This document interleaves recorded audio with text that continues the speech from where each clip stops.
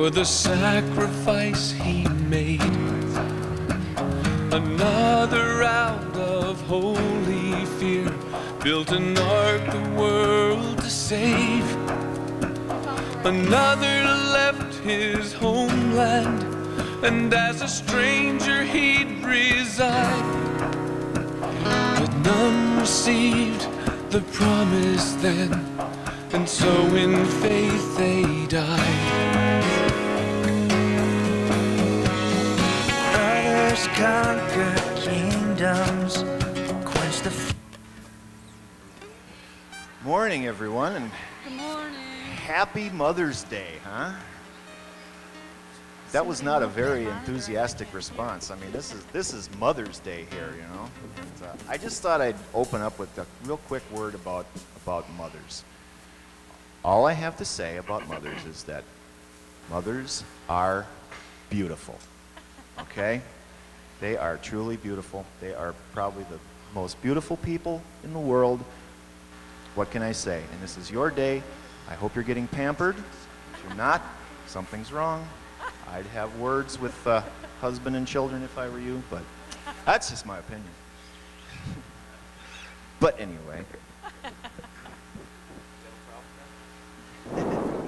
it's nice to see you all here this morning. Welcome to Crossroads Church. If you're still out in the entryway, come on in, find a seat, and get comfortable. And uh, let's get going with our call to worship, shall we?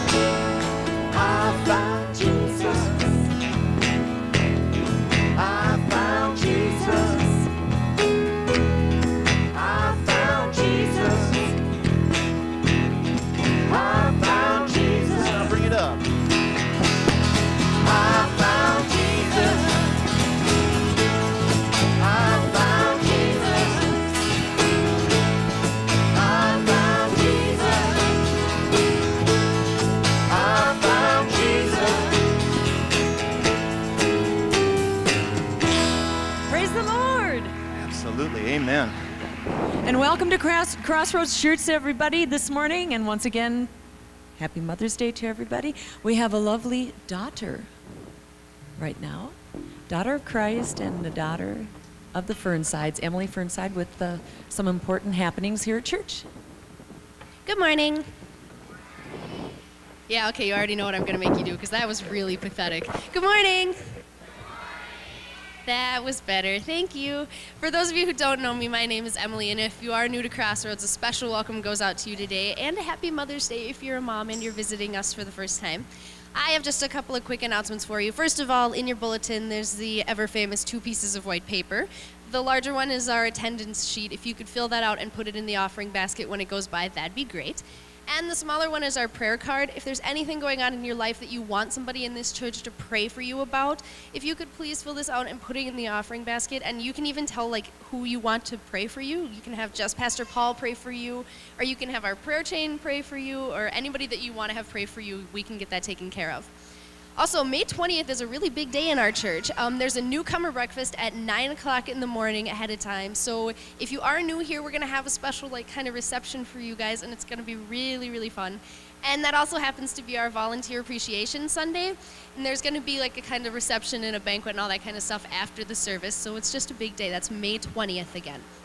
Also, there's a change in where cross training is going to be this week.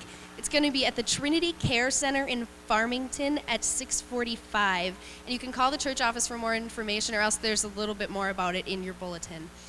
Um, speaking of the, the kids, um, we need some more teachers and assistants. So if you feel a tug on your heart to work with little kids and to teach them, and oh, they're so much fun. I loved working with them. So we need people like that. If you are interested in doing that, you can talk to Deb Marzahn.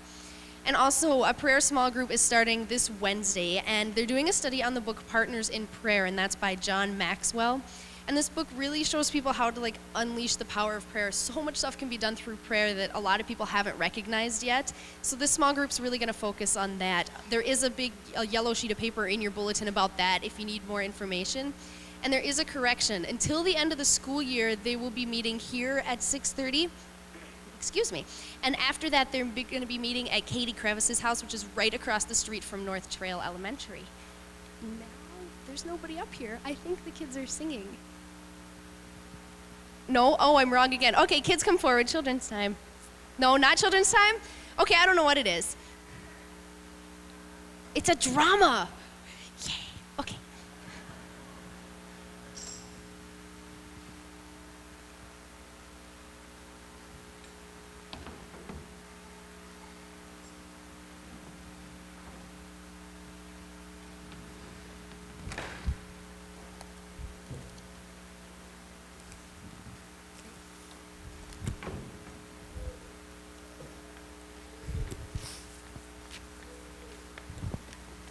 Hello.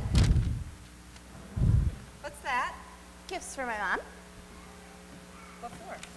Well, it's almost Mother's Day, you nuts. Oh, I know that, but what's in here? Well, stuff. Gifts for my mom. I wanted her to. Sh- I wanted to show her that I love her and show her all the appreciation for all the things she's done for me all these years. Make it sound like you have one foot in the grave all these years. Well, you know what I mean. She's been there all my life. I mean, she's always been there for me, and it means a lot to me. And I just want to tell her that.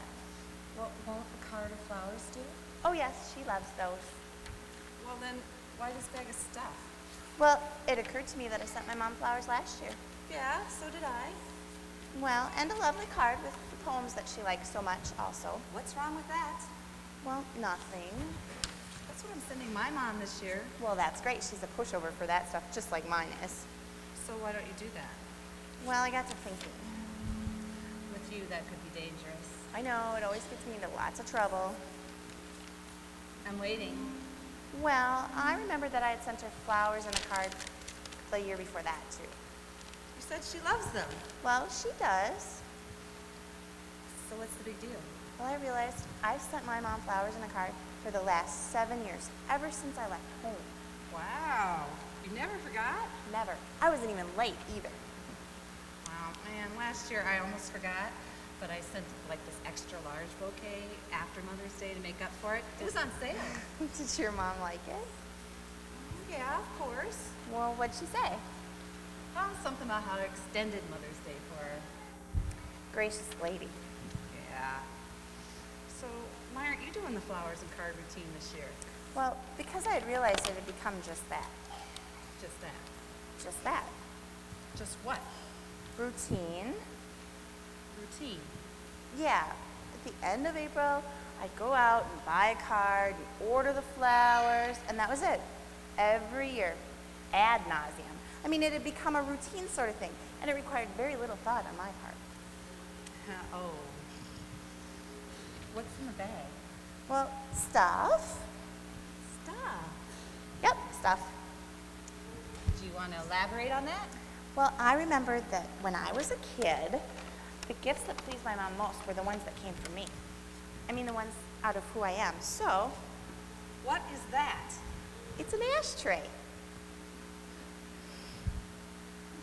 An ashtray. Yeah. Your mom doesn't smoke, and nobody in your family smokes. No, but she loved the ashtray me for when I was seven. That thing looks like it was made by a seven-year-old chimpanzee. Mock not my cynical friend. This could be the beginning of undiscovered genius. Yeah, so undiscovered it'll never be found. Well, my mom made me feel like it was undiscovered genius of the highest order. Yeah, moms are good at that. Mm-hmm. You know, when I was 10, I made my mom this paper mache brooch. It redefined the word tacky. And She still wears it occasionally. I mean, really, last year to her Christmas party, she mm-hmm. got a brand new dress and she spent a fortune on her hair and she wore my pin. wow. Yep, undiscovered genius, and I'm 35. Exactly. Moms have a gift for that. So what else you got in there? Well, I have my mom's favorite flower. I thought I'd press these and send them through the mail. Dandelions? Yeah, dandelions. Oh yes, they're my mom's favorite flower too. I picked dandelions and I put them in a she put them in a crystal vase on the dining room table. See, dandelions. And voila, the piece de la resistance. A card. Yes, I wrote the poem myself. Okay. I have a mom who's great. She loves and cares for me, you see. She's always there through thick and thin, and when I cry, she makes me grin. I love my mom for who she is. Her happy spirit makes me fizz. Mm-hmm. Fizz? Amy, that's like the worst poem I've ever heard. I know, just don't tell my mom that. Oh yeah, undiscovered genius. Yeah? Well, I've got to go. Can you handle this work on your own? Because I got some errands I got to run. Well, I suppose so. What are you gonna do? I think I might go buy some modeling clay, and construction paper, and maybe I'll cancel an order for some flowers. Well, good luck and have some fun. I will. Thanks, Amy. Hey, Joy, Yeah? next year it'll be flowers in a card again. It will. Why? Well, because she really truly does love them. But next year, it won't be a routine thing. And I hope that it'll never be a routine thing again. I might even write another poem. Amy, do your mom a favor. Buy her the card. I don't know, there just might be some undiscovered genius lurking there.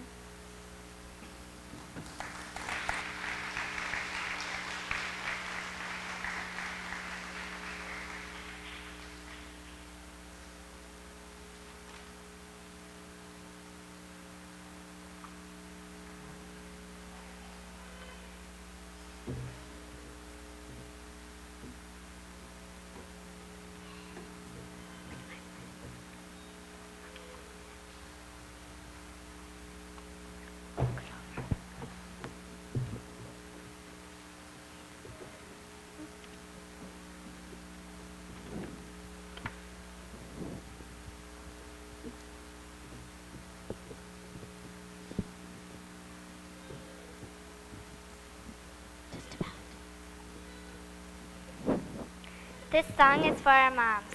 Thank you, God, for blessing us with our mothers.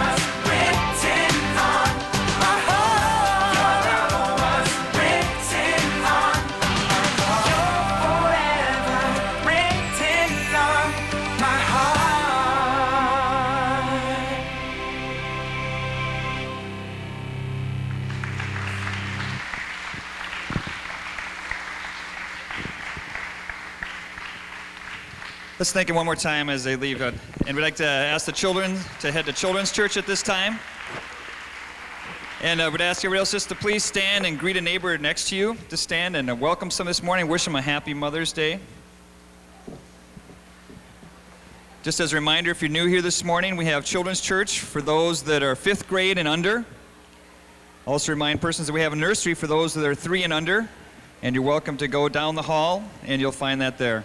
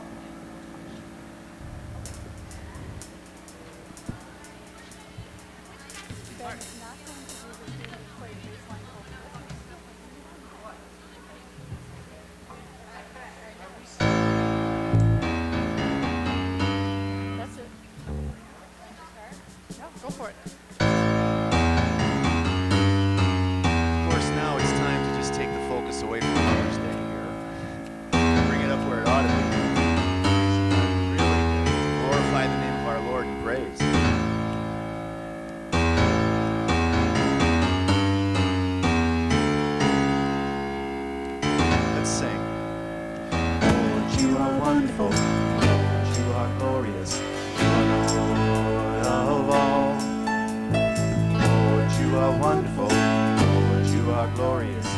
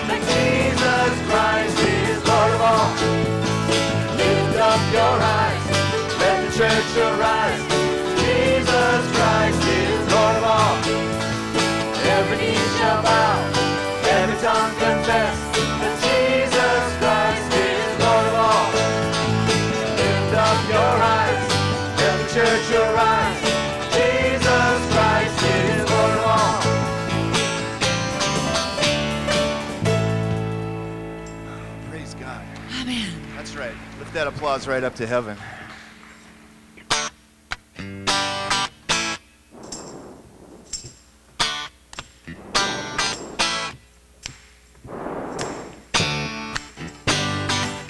You all ready to rejoice?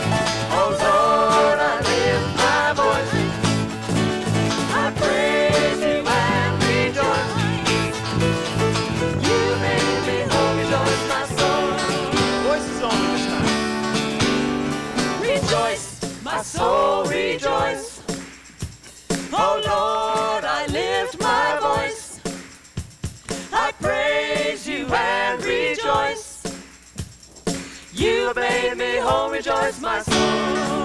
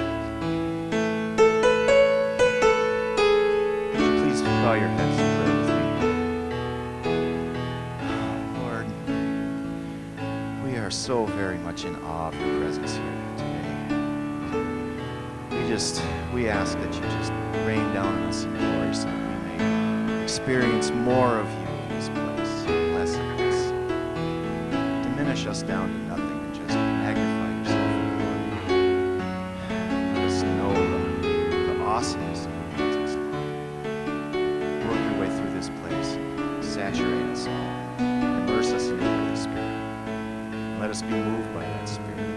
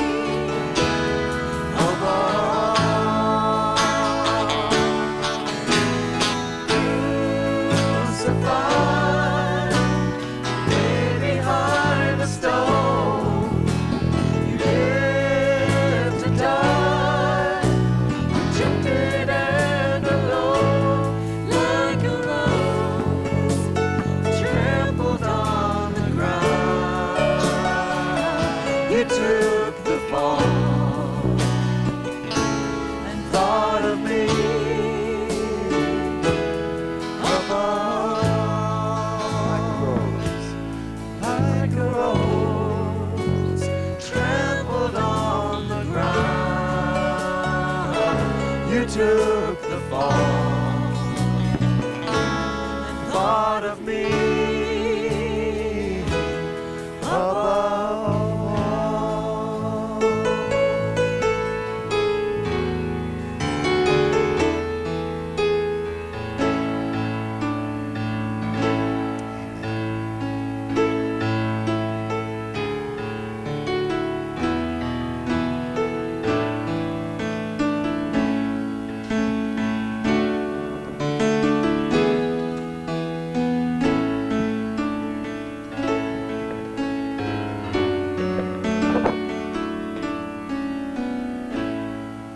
scripture reading for today comes from 1 Kings 17, 8 through 16, and 2 Kings 4, 1 through 7, as listed in your bulletins. So if you would turn to Kings with me, that'd be great.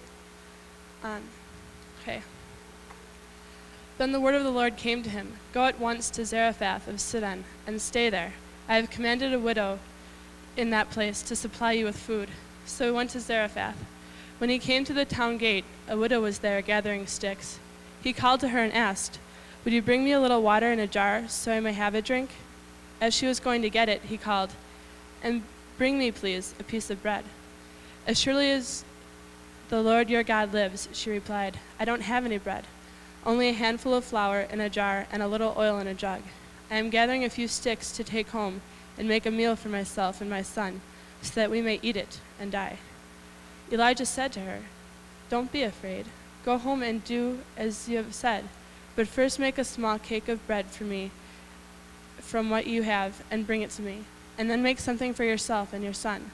For this is what the Lord, the God of Israel, says The jar of flour will not be used up, and the jug of oil will not run dry until the day of the Lord gives rain on the land. She went away and did as Elijah had told her. So there was food every day for Elijah and for the woman and her family. For the jar of flour was not used up, and the jug of oil did not run dry, in keeping with the word of the Lord spoken by Elijah. In 2 Kings 4 1 through 7. The wife of a man from the company of the prophets cried out to Elisha, Your servant, my husband, is dead, and you know that he, rever- he revered the Lord. But now his creator is coming to take my two boys as slaves. Elisha replied to her, How can I help you? Tell me what to tell me what you have in your house. Your servant has nothing there at all, she said, except a little oil. Elisha said, Go around and ask all your neighbors for empty jars. Don't ask for just a few. Then go inside and shut the door behind you and your sons. Pour oil into all the jars, and as each is filled, put it to one side. So she left him and afterward shut the door behind her and her sons. They brought the jars to her, and she kept pouring. When all the jars were full, she said to her son, Bring me another one. But he replied, There is not a jar left. Then the oil stopped flowing. She went and told the man of God, and he said, Go, sell the oil and pay your debts. You and your sons can live on what is left. Let's pray.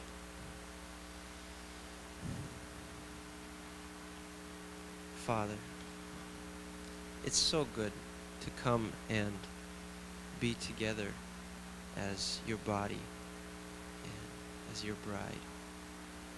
I pray that when we leave today, we would love you more and we would know you better so that we can love you more. Um, I pray for Pastor Paul now as he tries to explain a little more of your character to us. Give him your words, fill him with your spirit, empower him. And just thank you that we have the opportunity to be here and to know you. I pray these things in the name of Jesus, name above every other name. Amen.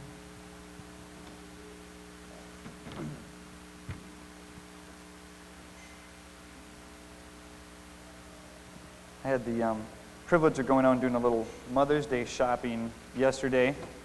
I don't know how many other people had that same adventure as fathers, maybe, or as persons shopping for your mothers or whatever you're doing. But um, I have found that Mother's Day shopping is an interesting adventure because you have the perception of the children and what they would like to purchase their parents. Then you have the perception of probably what the parent actually wants. And I noticed this yesterday when I'm with my children. I won't mention them by names. Um, you can figure out which one probably identifies with which gift. One daughter thought my, my wife would desperately need a curling iron. The other daughter thought lotions and perfumes would be well needed by, by uh, my mom, or by the, her mom. Another one thought a bow and arrow set would be the ideal gift. you know, mom just needed to go out in the backyard, play a little archery, and um, you know, she'd be a much better mom that way. And I tried to explain to this young child that perhaps mom's interest in archery was not the same as um, his or her own. And um, never quite got it. So then we moved into the truck stations. Well, maybe mom would like a truck. So maybe you had some similar experiences. It's tough, isn't it? to buy something special for that someone you love. It's tough. I got a question for you this morning. I want you to think about an unsung hero in your life. An unsung hero. That person that maybe was in your life that was significant to you. It might have been your mother, it may have been your father, it may have been a teacher or a pastor, but someone that was significant to you that was not perhaps well known, not famous, maybe significant to a handful of other people, but most of all significant to you. A hero in your life, someone that taught you or you looked up to. I'll give you a few moments to, to talk to a neighbor next to you and to share an unsung hero in your life. Go ahead, you can talk about how much you enjoy doing this, and, or you can actually share what you're supposed to share, but whatever. Just take a few moments, talk with somebody next to you.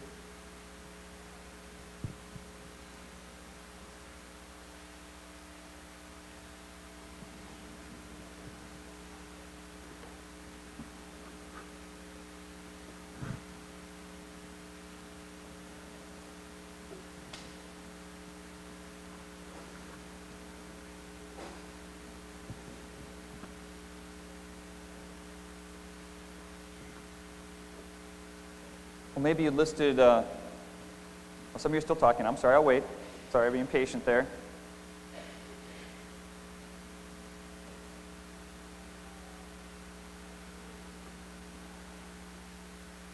Well, hopefully you listed maybe your mother or stepmom or grandmother or some person that was maybe a, a teacher in your life, someone that you thought was a wonderful person, but perhaps was never really recognized.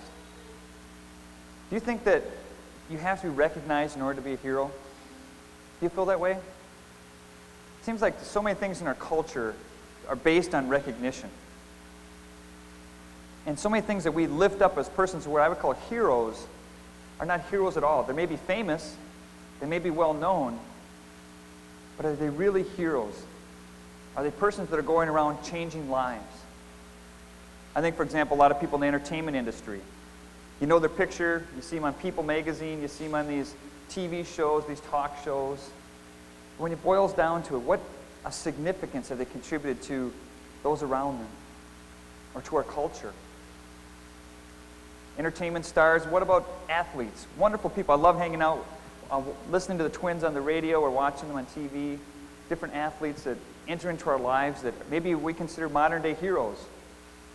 What do they really contribute? How our lives changed.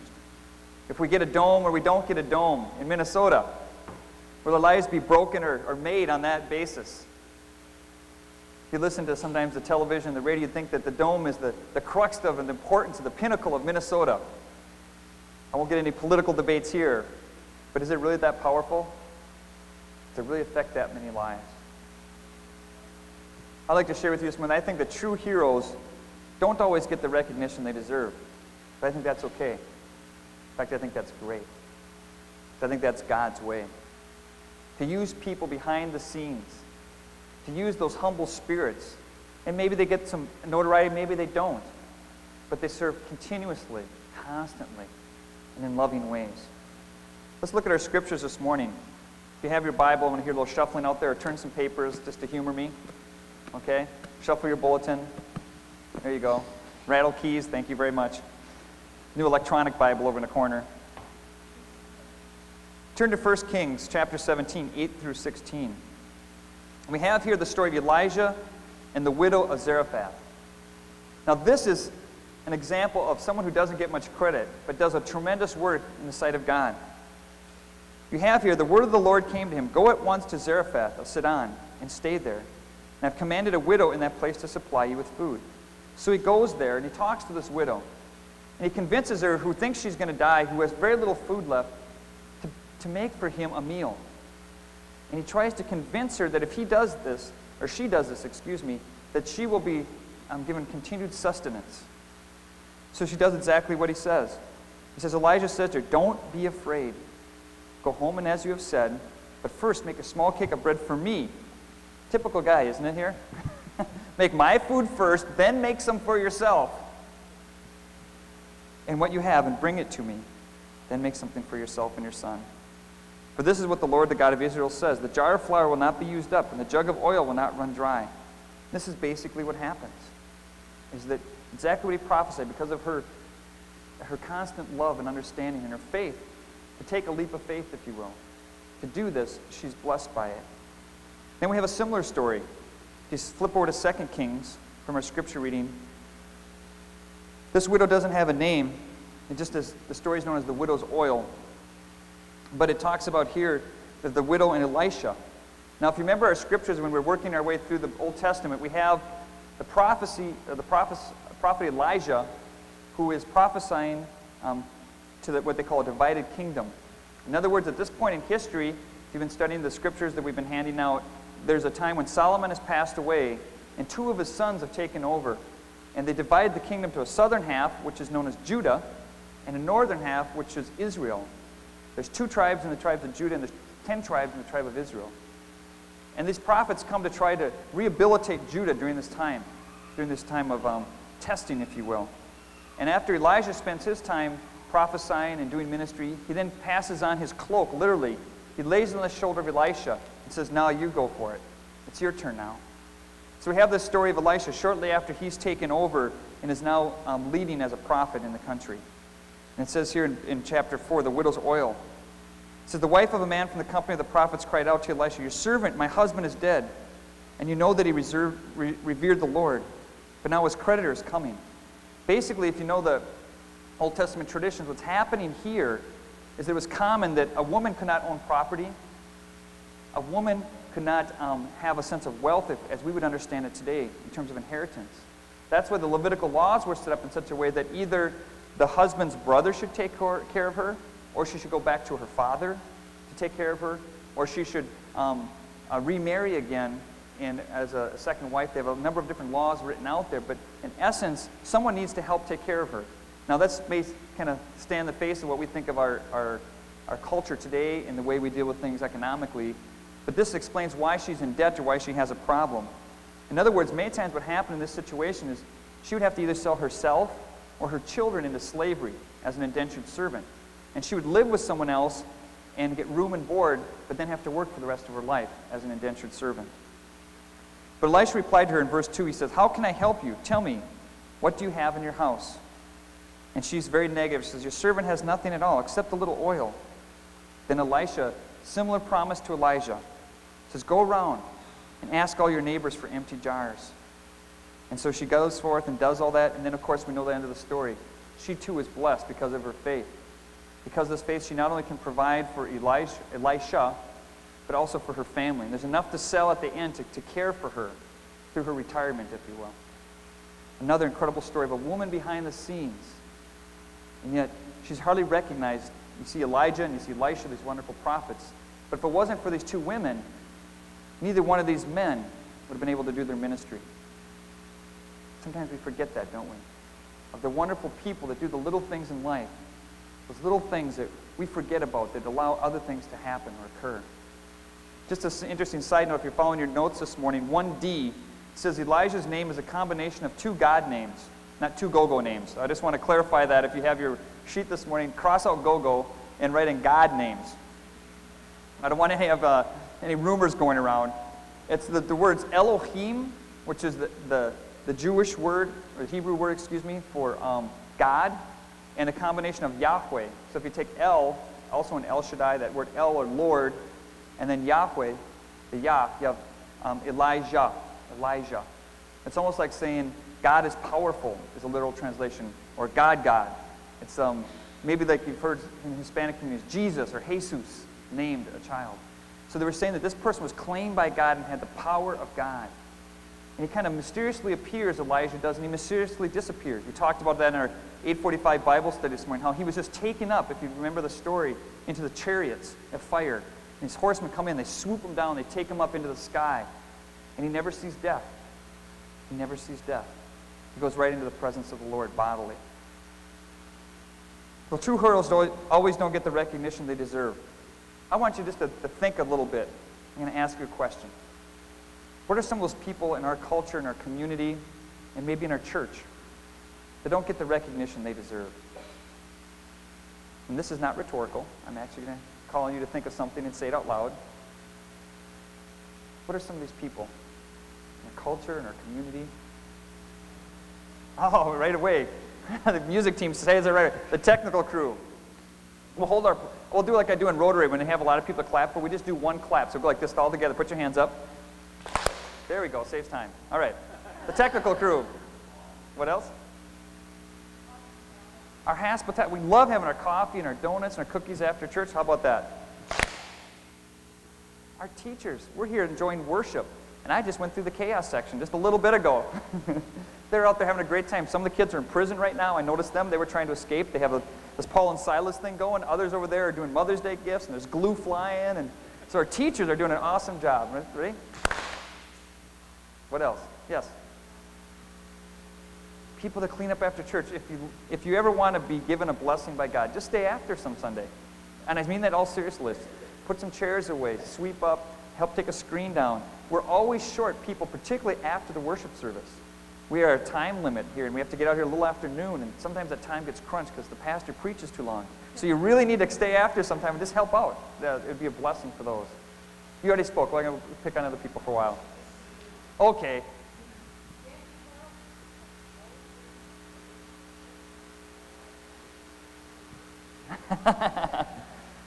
Anybody that feeds the worship team, I heard snacks and hospitality. Now I'm here for Jackie and bringing food.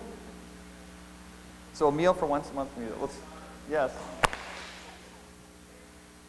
Their nursery, wonderful care they're getting. And they're not even just being babysat. If you've ever gone in there, it's incredible. They try to teach them a lesson even at three and under. They, if you so need it, uh, I love our youth kids when they go in there to help out because I see you guys, you read them stories in the corner, how they'll go in there and they'll actually play with the kids, not just put them behind in a room and let them fend for themselves. It's wonderful. Yes? Oh, yeah, yeah. Little, little clap. There we go. Move on. yeah. I think our youth leaders are incredible. We have our small group leaders. We have all the people that many times you don't even see. And behind the scenes, they're nurturing our youth and raising up other disciples. Deb Marzahn, she basically runs the church. You're right. And between her and Shelly, they just tell me what to do. And that's, um, exactly. Yes. Our prayer chain one of the foundations of our church. They pray on Wednesday nights. They put a, a of foundation around our church, a, a spiritual covering, and it's just awesome. And just as a little plug, if you want to pick up a prayer book that's just powerful that they're going through right now, it's called Partners in Prayer. They're on the information table, and it's just a life-changing book. You might want to grab one from our information table. Yes? Shelly Yost. What does she do? Oh, yeah. She's our office administrator, and she's also worked in a number of work areas from inreach to outreach to, to um, worship. She's um, children. She's served um, particularly on Wednesday nights right now. Does a lot of stuff. So. Our entire leadership team, people that dedicate hours and hours and hours to do the, the kind of structure and the business of our church. Yes?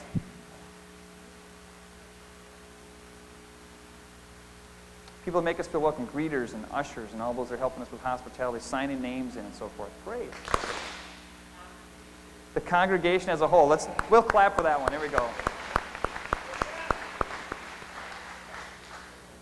I don't want to go in, but I think there's a lot we could continue to lift up from our outreach to our inreach to our staff relations, all the work here at the church. And there's so many people in our culture that get left out too. Our teachers, they work hard and diligently in our schools our factory workers that care for the needs. So we have products. We have people in our transportation industry in our church that serve diligently, making sure people can get to and from work or to and from where they need to go. If I look at all the occupations represented just in our church alone, I'm just amazed. And what a blessing each and every one of you. Each and one of you have a ministry. And many times you don't get the credit you deserve. You may go into work every day and not have a boss that appreciates your fine skills. You may have a teacher that thinks that somehow that they are grading you just by your grade, and that's what the box they put you in, and you're a much finer student than they give you credit for. Or maybe you're a young person and you think your parents maybe don't appreciate you as much as you think you, they should. Or you're a parent and you don't think your children appreciate you as much as you think they should. So many times we look for that credit or what we deserve. But what's blessing from our scripture is we see that true heroes don't always get recognized, even those most powerful ones. But God recognizes them, and that's the key. Our second point this morning is that God uses unlikely prospects to do miraculous things. He uses unlikely prospects. In the first story of Elijah, which we didn't even cover in the scripture text, God uses a raven, a blackbird, what's called an unclean animal. And he uses that raven to feed Elijah in the wilderness, to bring bread and meat. Then his second feeding comes from a widow. Again, someone that would have been on the outside of the culture, someone that would not have been looked up to as someone that had a lot to provide.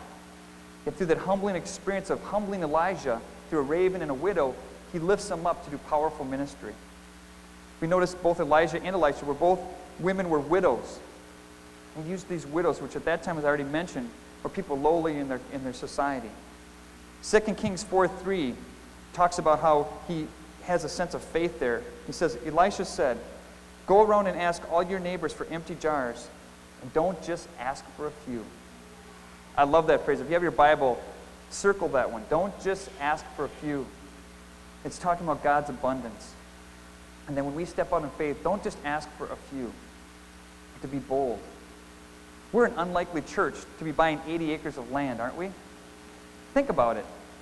We're an unlikely church to be trying to raise a million and a half for our first phase development with the number of people we have coming. We're an unlikely prospect looking at some of your, your pastoral leadership to be doing a lot of these things. But that's how God does it. It's almost like an irony. God uses those that are least qualified to do miraculous things. And He says, do it in a bold way. Isn't that great? Do we have a great God? God is good. Oh, you're still catching it. That's great. One of the keys to this provision in C, 2C, if you're taking notes this morning, is that God provides for those who love Him. God provides for those who love Him.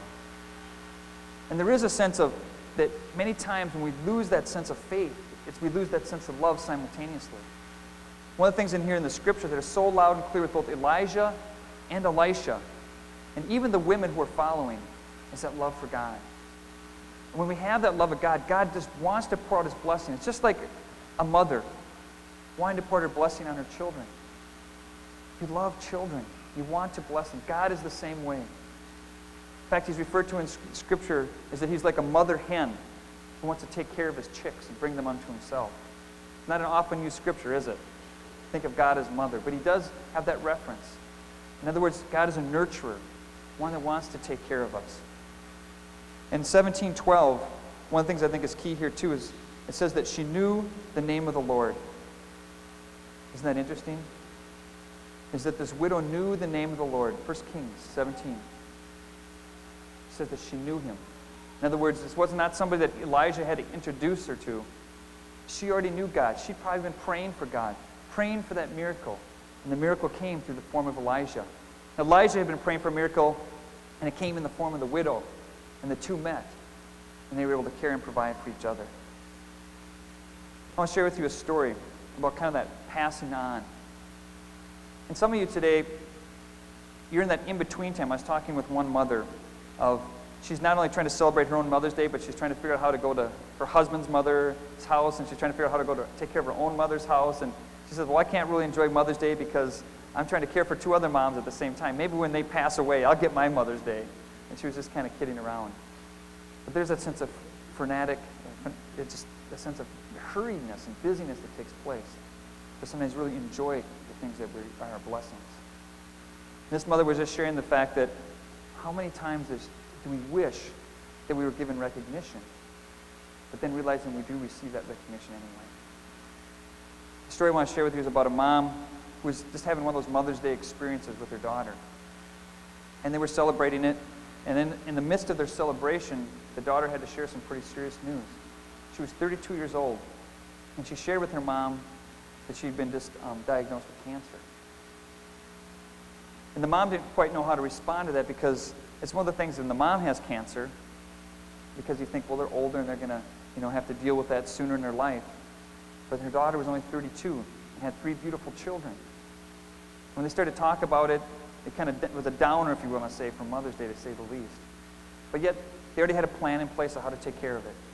They had the chemotherapy, the surgery, all the things lined up. So for the next three to six months, her mom was a mother again, taking care of her daughter taking her to and from the hospital, taking her to and from the clinic visits. And they rekindled their friendship that they'd had, not really had since she would, before she got her driver's license, as they joked around. They said, you know, once you start driving, you start losing that connectedness. Well, now mom had to be the transport again. And they laughed about all the times she'd taken her to the soccer, soccer games and to the to the different um, events at school for dances. And they looked back at those times, and now, once again, she was counting on her mom for rides. But in the process of their chemotherapy, her treatment got worse, and her cancer spread. And they, um, they came to the point of realization that perhaps she would not beat this. And then the mom didn't know quite what to do. She didn't know how to be a mom anymore to this daughter that was dying. She never expected to have this role in her mothering. And so she just finally asked me, she goes, Is there anything that I can do to help you during this final time? I said, Yes. I want you at the given point to be a mom for my kids when they need you when I'm gone. And there's a special way I want you to do that, is I want to make some tapes of all the talks I want to give my children that I know I will never be able to do. So the mother took a tape recorder and a machine. She went to the, the hospital. And she gave the, the mother-daughter talk and the mother-son talk about the birds and the bees. You'll have to ask your parents about later. And then they gave the, um, the mother-daughter talk about the first date. They had the mother-daughter and the mother-son talks about what it's going to be like to pack up and go off to college. And the mother-son-daughter talks when they first have their wedding day to play this tape. And so she had all the tapes recorded for the special time and an event in the kid's life so their mother could be there for all those passages in time. And said the hardest tape for her to make was a tape when she said, when your dad gets remarried. And she gave a talk. And in the talk, she said, someday your daddy's going to love another person just like he loves mommy. What I want you to do is respect that woman, to care for her like you care for me, and to love her just as you love me. Five years later, the hardest thing that grandma had to do was to play that tape for her children when their new mommy walked down the aisle. In essence, Elijah had to have a tape that he made for Elisha. He said, This ministry is now yours. I'm passing this on to you. You may not get the recognition you deserve. In fact, I know you won't. You'll be ridiculed, beaten, and rejected. But I'm passing on my cloak to you. And maybe you'll understand this gift later on. But I want you to understand as best as you can now. The final point I'd like to make this morning is point three that moms are quiet heroes who often do things behind the scenes that are not recognized, but that change the lives of others.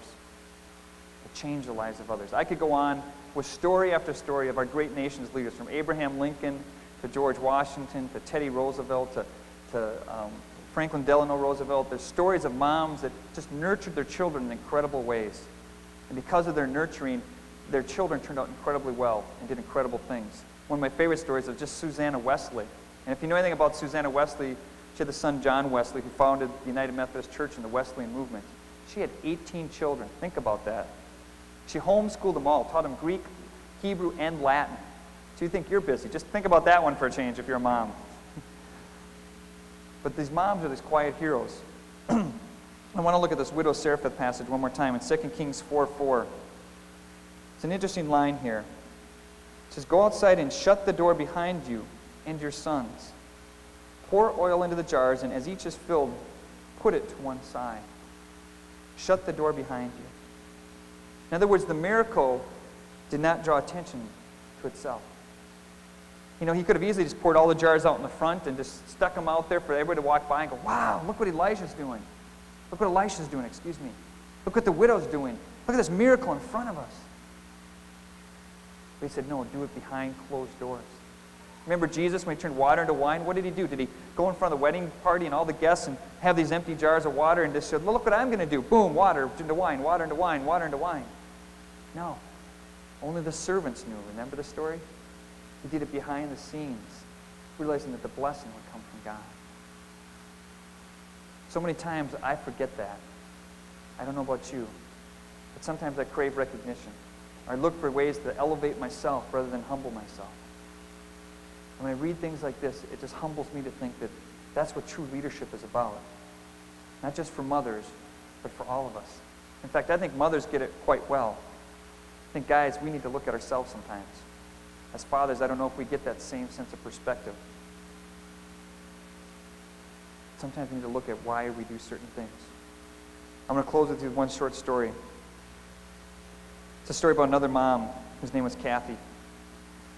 And Kathy was a working mom. And she often had to go out on different adventures and so forth because she was a salesperson. And so she'd be called to meetings and to different things around the country. And Kathy was okay with this. She was pretty used to it. But then all of a sudden, her husband, Nate, had a new job. And Nate asked Kathy if they could move to another part of the country, which means that for her sales job, she'd be traveling even more. But because they loved each other, they, they packed up their bags and they went. And they moved to actually Alaska. And their son, um, Rick, was also a part of their family, came with them, of course. And Rick was just a small little child, about two and a half years old. And this whole traveling and switching homes and everything was, was difficult for him. But Rick, all of a sudden, when he was up there, started to get used to the climate, got used to the changes. And one of the things that the parents did this to kind of help Rick in this um, transition is they went out and bought him a binky. How many of you parents know what a binky is? All right, I've got some parents out there. That's a, a key word for blanket, okay? But it's one of those pet things that sometimes kids have. And I know my daughters, I won't mention which ones again, or son. Um, there's a few of them that um, have one of those binkies that still to this day, when we go on camping trips, they can't forget the binky. And maybe you've had a son or daughter. Maybe some of you yourself still sleep with your binkies. I won't talk about any, won't mention any names here, but I've been on a few youth retreats and I've seen some interesting things come out of bags. So, so maybe you have that binky or that stuffed toy or that thing that really makes you feel secure and loved. Well, little Rick had this thing too, and Ricky is what they called him. And he just loved his, his new binky, his new stuff, or his new um, blanket. There was a sense of security. And he used to have it every night when his mom and dad would tuck him in, and he'd have it snuggled right underneath his chin. Well, one night, his dad came to check him in. And so Nate got little Ricky in there to get him a story, and he's looking and goes, Where's your binky? And little Rick got a little teary eyed and didn't say anything. And just then the phone rings. And Kathy calls up and says, You know, this is just terrible. I'm all the way down in Texas, and I was unpacking my bags. I realized in my hurry this morning, I grabbed everything off the bed, and I grabbed little Ricky's, Ricky's binky. And it's here in my suitcase. And you could see the look on Nate, the father going, Oh my gosh, how am I going to get through tonight? Some of you parents have been through this, right? And so Nate's going, Okay, okay, thanks for calling. Um, I'm sure we'll get through this together. I'm sure it'll be just fine. And so Nate's thinking to himself, How am I going to explain this to my son? And how we can just get through this night together. Maybe I'll have him sleep in my bed, or maybe I can do this and, and do that, and maybe get him a snack, or maybe I can wear him out, watch videos all night. What I can do just to get him to go to sleep. And I want to tell you what, the, what happened in this ending here was Nate goes in to tuck his son Rick into bed. He says, Little Ricky, I just want to share with you, that was mom. She called to tell you I love you and how much she misses you. But she also wanted to let you know um, that this morning when she left in such a hurry, she took your binky. And she's really sorry, but she'll get back home in two days and you can have your binky back then. And little Ricky said, Well, don't worry. I gave mommy my blanket so that she wouldn't feel scared while she was gone. Little Ricky knew what she needed when she was away. And mommy was concerned about her, about him. But the boy was concerned about his mom. I just want to close with a proverb. Says, Raise a child in the way that he should go. When he or she is older, they will not depart from it. When we invest in our children and in our youth, they will become the next generation of unsung heroes. Let us pray. Loving God, we thank you for this time together today to celebrate the heroes in our midst and the heroes that are not in our midst. And Lord, we thank you for this time. And Lord, as we pray in this closing time, we just want to remember those persons silently. There may be our quiet heroes, those persons in our lives that touched us. Maybe our mother, maybe a stepmom, maybe a grandma, maybe that person who's now gone. That we remember this day. But Lord, we just know that there are those people that touched us. They made us who we are. And we lift them up this day. And Lord, there may be someone here today that doesn't have a relationship with you, Lord. And they need that sense of love. Maybe they never got it from their mother. Maybe they never got it from a, a person close to them. But they can realize it through you through the power of your Son, Jesus Christ, who died on the cross, that they can experience that kind of love, the love of an unsung hero in their heart. We just pray for that this day. That's in your name we pray. This time we're receiving our offering. Just like to remind persons that may be a guest here today, they're not obligated to give. We share in God's resources as a way of giving back to God the love we feel for Him.